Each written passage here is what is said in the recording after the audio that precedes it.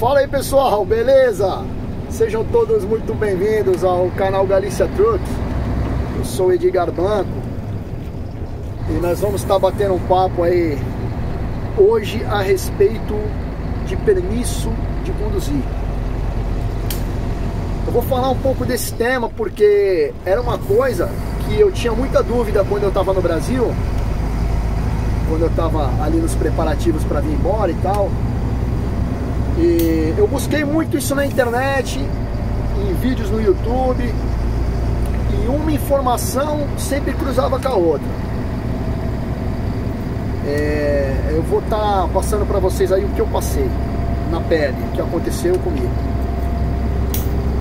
Eu, quando estava no Brasil, eu tinha a, a minha habilitação de caminhão. E a minha dúvida era: vou chegar na Espanha, eu vou poder dirigir? Eu vou poder conduzir? E eu te digo o seguinte: se você vem turistar, mochilar, se você vem passear, vem como turista, você pode conduzir. Você pode conduzir carro e moto. A, habilitação AB no Brasil precisa estar com a sua cédula de CNH e com o passaporte. Dentro do período de três meses, você vai poder conduzir normalmente aqui na Europa. Agora, com respeito à categoria profissional, que são os condutores de pesados e autobuses, ônibus, você não vai poder conduzir de forma nenhuma você vai ter que regularizar a, a sua habilitação junto à Diretoria Geral de Tráfego, a DGT, aqui na Espanha. Aqui na Espanha é DGT, em Portugal é outro nome, cada comunidade da União Europeia tem a sua, seu respectivo órgão de trânsito. E aí, como que você fez, Edgar? Cita prévia. Vocês vão ouvir muito essa palavra, cita prévia. Para tudo aqui tu precisa de uma cita prévia. Para qualquer órgão público que você vai fazer um solicitar um serviço para qualquer coisa, cita prévia. Você não chega e atendido. Você pega a sua cita pela internet, você tem o seu númerozinho, você chega lá na, no, no respectivo órgão público e é atendido com a tua cita. Então vamos lá. Eu tô imigrando do Brasil, eu tô indo para morar, eu tô indo para trabalhar. Você vai conseguir regularizar o seu permisso de conduzir em duas situações. Uma, que foi a minha situação, você tendo cidadania, sendo cidadão. Como muitos sabem, eu sou filho de espanhol. Então eu vim com cidadania.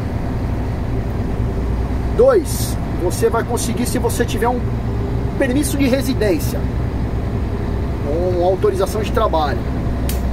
E você vai ter um, um número de identificação, né, uma autorização e você vai conseguir regularizar a, a, a sua habilitação.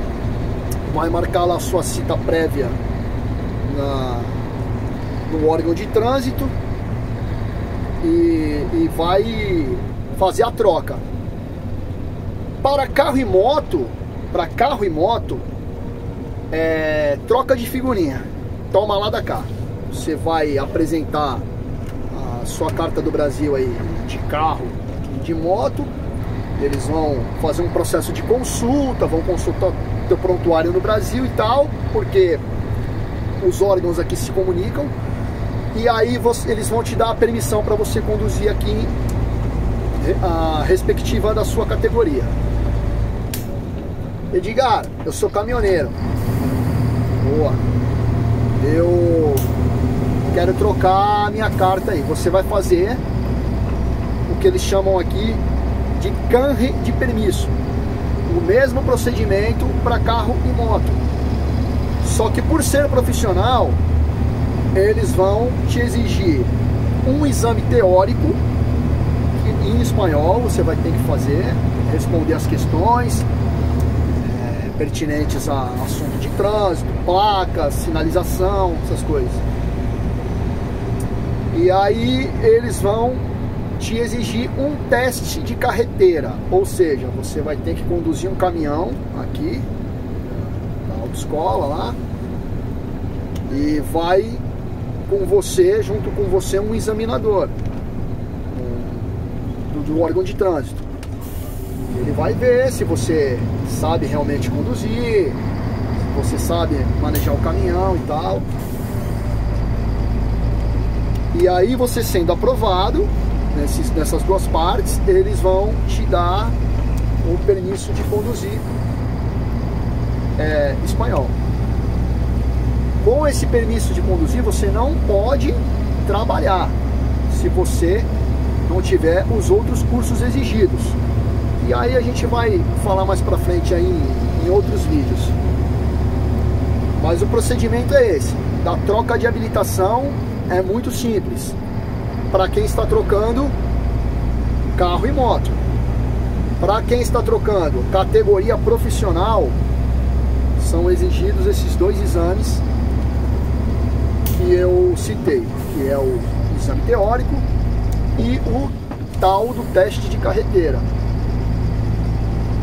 que na minha opinião é um pouco puxado, é exigido, porque eles enxergam que você é um caminhoneiro, você tem a tua permissão de conduzir no Brasil de caminhão, você trabalha é, nessa área e que você sabe manusear a máquina. E é isso, pessoal. Espero que eu tenha ajudado aí de alguma forma. Qualquer outra dúvida que vocês tiverem a respeito aí de permisso de conduzir, deixa aí anotado nos comentários que eu vou correr atrás para responder. E eu vou deixar o link da Direção General de Tráfego para, para marcar cita prévia. Eu vou deixar na descrição do vídeo. Pessoal, deixa um like aí para dar uma força. Eu queria agradecer os inscritos que chegaram aí. Chegou uma galera aí essa semana. Muito obrigado pelo apoio aí. Eu comecei o canal não tem nem uma semana e já estamos aí com 22 inscritos. Obrigado aí pela, pela ajuda e a intenção é estar tá trazendo informação, beleza? Nos próximos vídeos a gente vai falar um pouco sobre o CAP e sobre o tacógrafo. Beleza? Grande abraço para todos. Que Deus abençoe, uma boa semana. E tamo junto no Galícia Truck.